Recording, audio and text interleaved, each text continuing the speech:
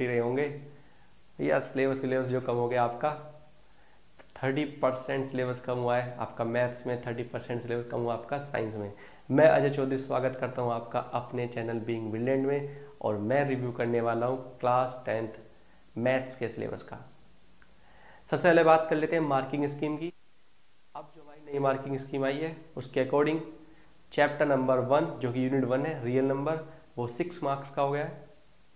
Unit to algebra जिसके अंदर आते हैं हमारे polynomial linear equation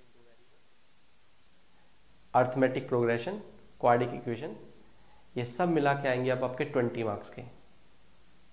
unit three coordinate geometry ये आपकी सिक्स मार्क्स की हो गई ज्योमेट्री जिसके अंदर आता है ट्राइंगल सर्कल और कंस्ट्रक्शन ये आपका फिफ्टीन मार्क्स का हो गया।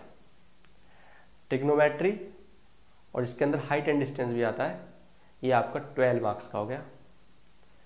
Area related to circle and surface area volume मतलब कि मैंसुरेशन, अब आपकी टेन मार्क्स की है। स्टैट्स और प्रोबेबिलिटी दोनों मिला के आपके इलेवन मार्क्स के हैं। इस तरीके से एटी मार्क्स का पेपर होगा, ट्वेंटी आपके इंटरनल के मार्क्स होंगे।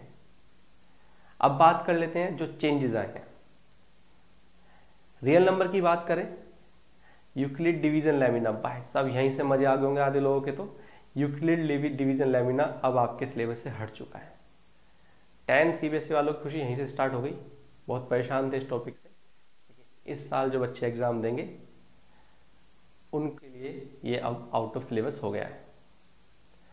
पोलिनोमियल में जो प्रॉब्लम्स आया करती थी डिवीज़न एल्गोरिज्म के ऊपर, वो प्रॉब्लम अब नहीं आया करेंगी। लीनियर इक्वेशंस के अंदर से क्रॉस मल्टीप्लिकेशन मेथड हट गया है। कोई फ़र्क नहीं पड़ा होगा किसी को भी, क्योंकि आसान था टॉपिक तो क्रॉस मल्टीप्लिकेशन मेथड अब आपके सिलेबस से हट चुका है। क्वाडिक इक्वेशन के अंदर बड़ा अच्छा चेंज आया है, जो चीज़ों को बहुत आसान कर देगा। रिड्यूसिबल इक्वेशंस जो इक्वेशन अलग फॉर्मेट में हुआ करती थी, जिनको आपको पहले क्वाडिक बनाना पड़ता था, मेहनत करके। अब आपको मेहनत नहीं करनी पड़ेगी कि वो आपके सिलेबस से हट चुका है। एपी के अंदर, जो जनरल लाइफ प्रॉब्लम्स आया करती थी सम सम ऑफ़ एपी वाली, जिनमें बच्चे कंफ्यूज हुआ करते थे, वो भी सिलेबस से अब हट गई हैं। तो ये कुछ दो ऐसे टॉपिक हैं, जिसमें प्रॉब्लम रहा करती थी, लेकिन अब वो सिलेबस से बाहर हटा दिए गए हैं। बात करते हैं कोऑर्डिनेट ज्योमेट्री कोऑर्डिनेट ज्योमेट्री में बहुत ही आसान सा टॉपिक था एरिया ऑफ़ ट्राइंगल लेकिन अब वो आसान था जैसा भी था, अब आपको करने की ज़रूरत नहीं है, क्योंकि वो आपके सिलेबस से हट चुका है। ट्राइंगल्स के अंदर से, एक प्रूफ है ट्राइंगल का कि अगर दो ट्राइंगल सिमिलर होते हैं तो उनके एरिया का रेशियो क्रॉसपोर्डिंग साइड के रेशियो के स्क्वायर के बराबर होता है। ये प्रूफ आउट ऑफ़ सिलेबस हुआ है। इसके क्वेश्चंस आउट ऑफ़ सिलेबस नहीं हुए इसका प्रूफ आउट ऑफ़ सिलेबस हुआ है। इसके अलावा कन्वर्स ऑफ़ पाइथागोरस थ्योरम का proof converse of Pythagoras theorem का प्रूफ आपका आउट ऑफ़ सिलेबस हुआ है।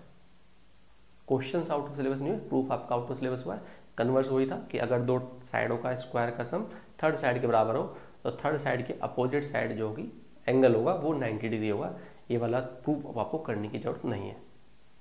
सर्कल के अंदर से कोई चेंज नहीं आया, वैसे ही क्या चेंज आता? छोटा चैप्टर था, दो बातें उसके अंदर, वो भी खत्म कर देते तो चैप्टर ही खत्म हो जाता। कंस्ट्रक्शन में एक ट्राइंगल के सिमिलर दूसरा ट्राइंगल कंस्ट्रक्ट करने वाले क्वेश्चन अब आपके लिए बाहर हो चुके हैं सिलेबस से। टिग्नोमेट्री के अंदर से बहुत आसान वाला टॉपिक कॉम्प्लीमेंट्री एंगल्स वाला टॉपिक हट गया। है हाइट एंड डिस्टेंस में कोई चेंज नहीं आया है। एरिया रिलेटेड टू सर्कल में जो 120 डिग्री एंगल बना करता था सेक्टर का, वो वाले क्वेश्चंस अब आउट ऑफ़ सिलेबस हो गए सरफेस एरिया वॉल्यूम से फ्रस्टोम ऑफ़ कोन अब आपके लिए नहीं आएगा।